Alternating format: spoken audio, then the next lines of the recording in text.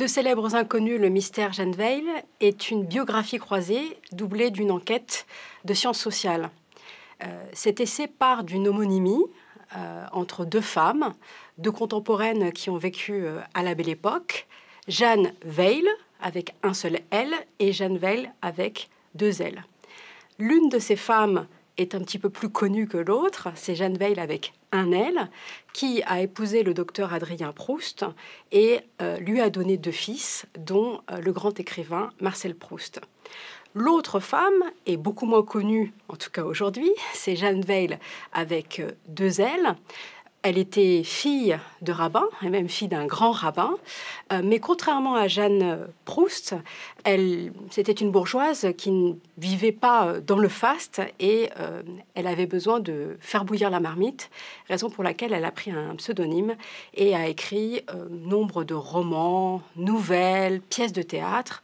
Elle a créé des associations et surtout, elle a créé des établissements d'enseignement supérieur libres, dont l'école des hautes études sociales, où se donnaient autour de 1900 environ 500 conférences par an sur des sujets euh, très variés, allant de l'hygiène sociale à l'économie politique, en passant par euh, l'histoire littéraire et la musicologie.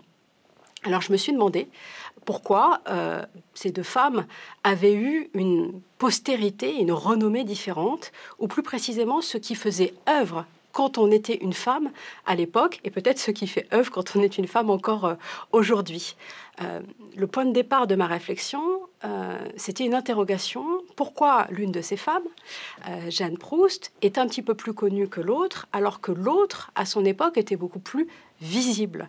C'était une intellectuelle dreyfusarde. C'était d'ailleurs aussi le cas de Madame Proust, qui était elle aussi Dreyfusarde, et toutes les deux étaient convaincues de, l'innocence du capitaine euh, Dreyfus accusé à tort. J'ai oublié de dire que ces deux femmes étaient juives et appartenaient euh, au même milieu euh, social.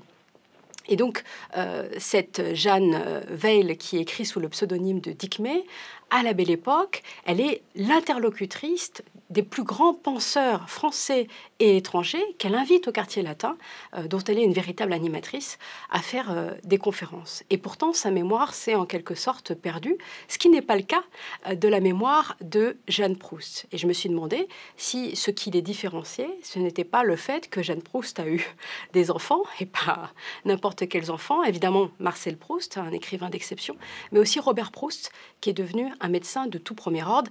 Et ils ont entretenu euh, sa mémoire. Euh, la mère de Proust occupe, euh, sous la forme d'un personnage fictif, fondu d'ailleurs avec le personnage de la grand-mère, dans la recherche du temps perdu, une place considérable.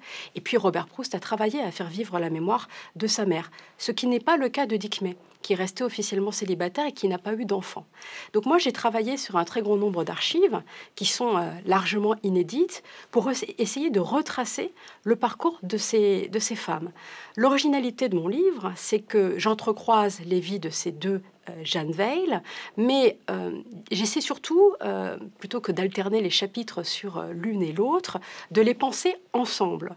Et je les pense à partir d'une série de thématiques comme le rapport à la culture, la religion, le travail, la sexualité, la famille, mais je pose aussi au fil de ma recherche, qui est devenue une véritable quête personnelle, des questions qui sont euh, des questions d'ordre scientifique, épistémologique pourrait-on dire, et autobiographique. Quelle est l'influence de la manière dont les individus, les personnalités euh, euh, historiques se perçoivent, mais aussi de la manière dont elles sont perçues?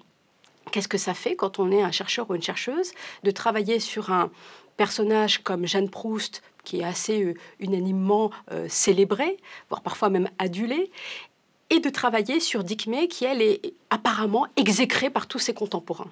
Euh, quelle influence en fait ça a sur la vision que nous, en tant que scientifiques, on a de ces personnages Il faut dire que j'ai passé quand même huit ans à travailler sur ces deux femmes, donc euh, ça laisse des traces, ça laisse des traces, et euh, cette immersion dans laquelle j'ai été, hein, ce bain scientifique dans lequel j'ai été, il m'a poussé, c'est peut-être un tort, je ne sais pas, à m'identifier parfois à ces deux femmes, alors qu'évidemment nous n'avons rien en commun parce qu'il n'y a rien de commun entre bah, deux femmes juives du Paris 1900 et euh, moi, euh, universitaire euh, en 2024-2025.